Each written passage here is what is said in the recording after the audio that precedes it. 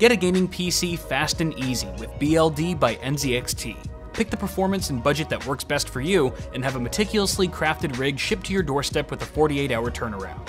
BLD offers the latest hardware, fair pricing, and a two year all in one warranty. So click the link below to start customizing your next gaming rig today.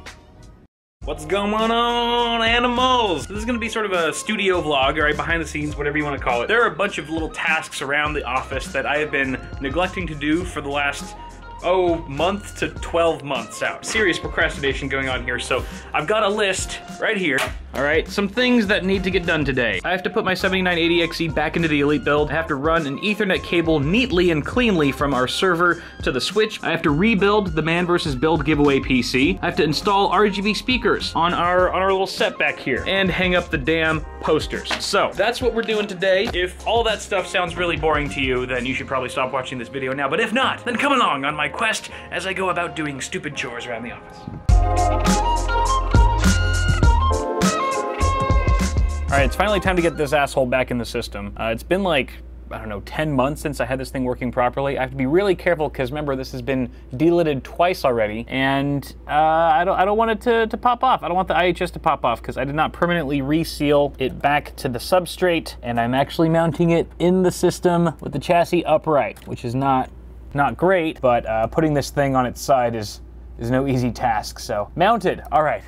I think the hardest part is done, uh, getting the CPU in there without the IHS falling off. Now I gotta put that damn, where, where's the monoblock? Here it is. I probably shouldn't have kept it like that for so long, but uh, it looks fine. It's totally fine. I do need some thermal paste first. I think we got barely just enough here. All right, it's kind of awkward applying thermal paste from this position. Oh, that was not the best I've done. Let me just try to even it out. Can you guys, I'm also trying to like angle myself so you guys can see it on camera. Makes it even more difficult, but that's, that's, that's not terrible. It's a little off center, isn't it? I guess that's what I get for uh, applying it from this perspective. So let me just ah, ah, ah. I'm gonna try to like add just a tiny bit more and simultaneously move it over. Oh, it's a little goopy, a little goopy there. Getting some Verge vibes. All right, hold on. Let me let me get it out here. Oh, come on. Ugh. That's actually not terrible. I do want to suck some of it up though. Just like that. Just like that. Suck it. Suck it good. Yeah, suck it for me. All right, that looks pretty good. Let's let's mount this sucker. Oh, you know what? Oh, I almost forgot. I actually have to place the thermal pad back onto the VRM right over these MOSFETs. Right over these mossies right here. Give me a sec. Oh boy, oh that's that's a stretch. The thermal pad here is not quite as sticky as it used to be. Uh, all right, I gotta do this quickly. Oh wait, oh shit, I still have some pegs in here. Uh, I have some standoffs from a Asetek cooler that I mounted in here for testing earlier. Forgot to remove those. Thermal paste is dripping down. Thermal pad could be falling off at any minute. This is great. Okay. Okay, yeah. Remember, this is not a tutorial. One more, one more good screw. That's all I need. Gotta really make sure that's on there. use your fingering power. All right, so at this point, gotta put the fittings back in here. So for starters, I can put this guy back in. Easy peasy. Easy does it, there we go. There it is, beautiful. Oh my God, look at that GPU sag. Man, man, that is some wicked sag there, bro. Wicked sag. Okay, I think we're pretty much good to fill the loop. Do we have distilled water? Fortunately, I still have some leftover coolant from Thermaltake. In you go. Have fun. Make good choices. All right, loop. Time to watch you bleed. All right, we've got our paper towel down there in case we have any leaks, and we are ready to go. Flip the power supply on, and uh, power. Not too shabby. Any leaks? Any leaks? Anywhere? Anyone? Anyone? No, looks like we're good. We're in good shape, my bros. All right, shall we, uh, shall we plug her in, like to the monitor, and just make sure that it's actually booting and stuff, that our temps are normal? Let's check temps. All right, test boot, here we go. Wait for it, wait for it. Come on, come on, come on. Let's see it. Where are you at? What's happening? I don't like the looks of this. Getting a bad vibe. All right, hold on, hold on, hold on.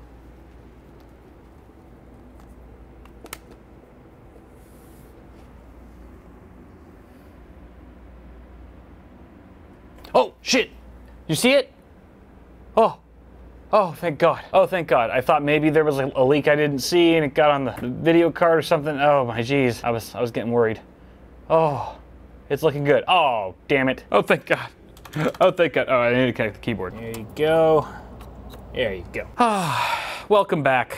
Elite build. It's nice to have you here. All right, we've got media encoder ready to go. Let's go ahead and render some shit. And take a look here. It looks like we are running at four gigahertz. Here you go. 4 gigahertz on all cores. Let's give it a little bit longer, just give it a chance to warm up, and then we'll check our temps in a few minutes. All right, we are just over seven minutes into our render here. I don't know why I'm talking in a southern accent. Package temp is 82C. That is down from 104 degrees Celsius before I had delidded that chip, just FYI. So we're down over 20 degrees C uh, from that delid, and of course, popping it in the Elite build is doing it all the favors right now. So I think we can officially say that our first chore of the day is done.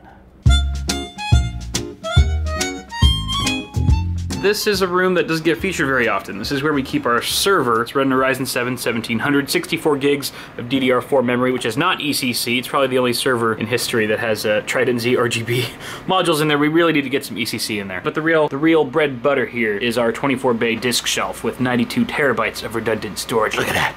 Oh, it's so sexy. So this whole thing is connected by an ethernet cable that runs out of the room all the way into the hallway, along the wall. So you can see, woo, from all the way over there, and then back around, goes under this little cabinet here, past our printer, and to our switch, our 10 gigabit ethernet switch right there. So it's, it's kind of a mess. When in reality, it should really just start from the server, go up the wall in that room, and then come back down where all these other cables are going. I've done this wiring myself as soon as we got into the studio, but since then I've gotten lazy and I've just been like, hey, you know, we've got a 100 foot ethernet cable. What's, what's the point? I'll do it later. I always keep saying that. I'll do it later. I'll do it later. But the time has come where later is now. I'm gonna go get a stool. I hope, you know what? Oh, that's the thing. I hope our stool is tall enough for me to actually reach to the ceiling because I'm I'm really short and our stool is also kind of short. So let me check. Oh boy. Oh boy. Um, do you think I'll be able to reach up there? Let's see. This is as far as I get. I don't think it's gonna work. Now we do have a ladder, but it's actually at our house right now. Um, and I didn't really think this video through when I was leaving the house this morning, so... And you know what really sucks is that we could have asked the maintenance crew who operates out of this building to borrow their ladder, which we've done in the past, but it's well past 6 p.m. at this point, and I know for a fact they've already gone home for the day. So I guess I'm just gonna have to do this at another time. Looks like a vertical challenge not accepted.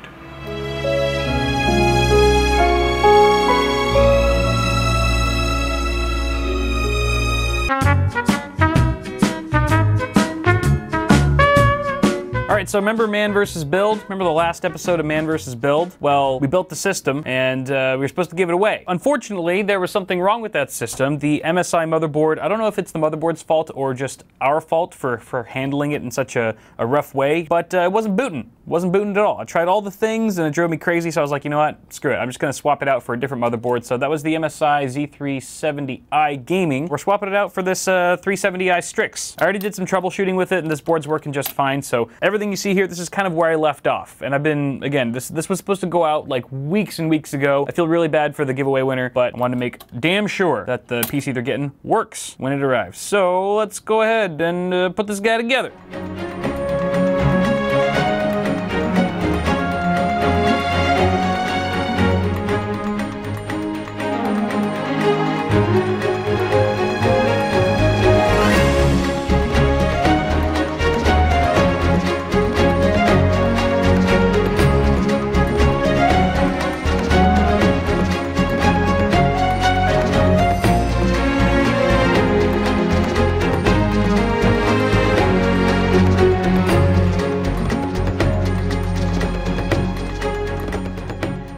There she is. Eh? Eh? Eh? Yeah. Ain't she pretty? No, she ain't. But she'll boot. Oh, she'll boot, I tell you. In fact, let's try that out real quick. All right, so proof, proof that it boots. Here we go. I gotta, I gotta turn the power supply on first. That is false alarm, power supply, K, shut up. I can see you laughing can see you laughing at me. I don't appreciate it. Hi, Wifey Sauce. Wifey Sauce is on camera. No, I said I don't want to be on camera. Who's laughing now? Yeah, it's not so easy, camera head. you look like a camera head. All right, turning it on. That's more like it. Fans are spinning. All right. Come on. Give me that sexy splash screen. Let me see it. Show me the goods. Ugh. Come on. Ew. Ew. Mm. Okay, we can we can pack this up. We can pack this up now. Looks good. And uh, wifey sauce will ship it out to the winner. Finally. Sorry, dude. I forget your name, but I, I apologize it's taking me so long. Your system's working now, so all is good, my friend. wow, let's move on to the next chore.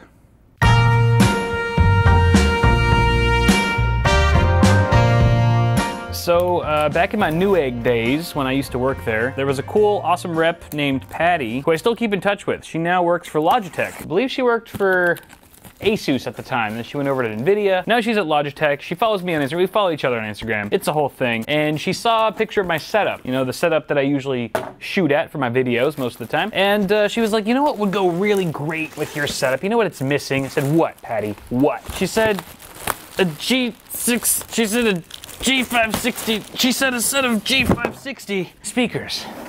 And I said, I think you're right, Patty. Why don't you send me a set? So she did. That's exactly what she did. Now, I actually haven't seen any reviews on this guy, so I'm not sure how they sound, but it does have RGB lighting, so I'm sure it sounds great.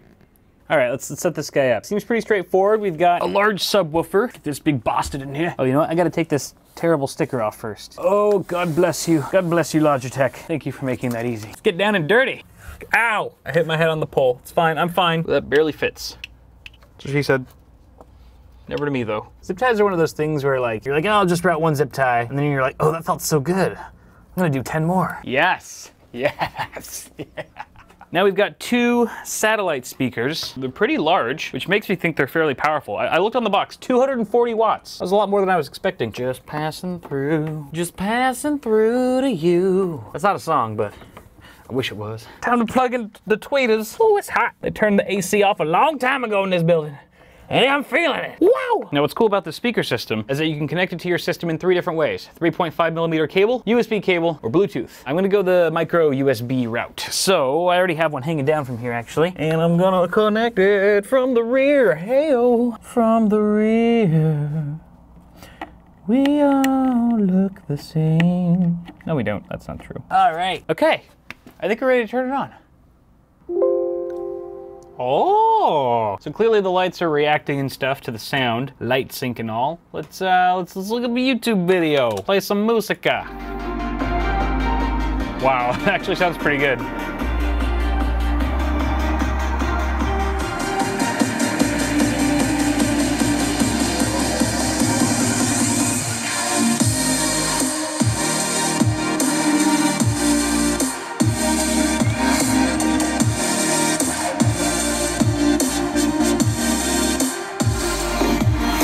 Immersed.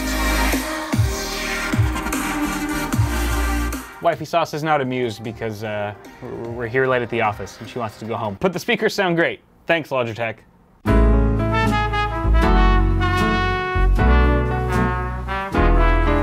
Last to-do item of the day is to hang up the posters. These posters were purchased by us uh, shortly after we moved into the studio over a year ago. And since then, they've literally just been standing against the wall here. We actually got to dust them down at some point too. That's how long it's been. So finally, we're gonna hang these suckers up and wouldn't you know it, the stool is actually tall enough for me for this job in particular. So let's get her done.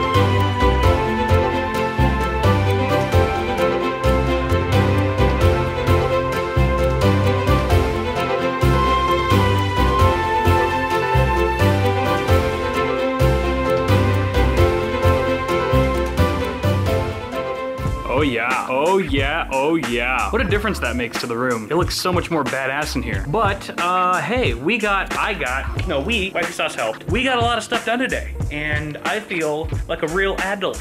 So, kudos to us. Thank you guys so much for tuning into this little tech chores video. I know it was kind of weird. Toss a like on the video if you enjoyed it. And get subscribed for more tech stuff coming at you really soon. Till next time, guys, have a good one. I'll see you in the next video.